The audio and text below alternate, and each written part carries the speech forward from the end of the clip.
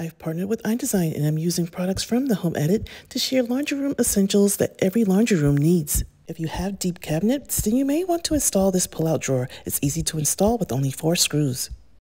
Utilize the cabinet door and add a pegboard to hang all of your most used cleaning tools. Having it here is easy to access and it's a great way to use this door that would have been wasted space.